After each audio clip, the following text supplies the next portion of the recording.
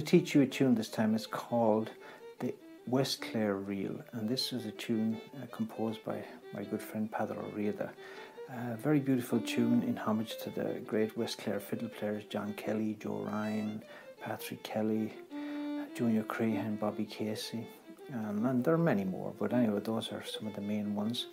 Uh, and there's a particular style of playing that I think uh, felt that this tune was kind of fitted into that uh, kind of way of playing music. So I hope you can enjoy it. And um, so I'm going to play it around for you a couple of times and then I'll break it down slowly in a way that you can play along and repeat the parts. So here we go.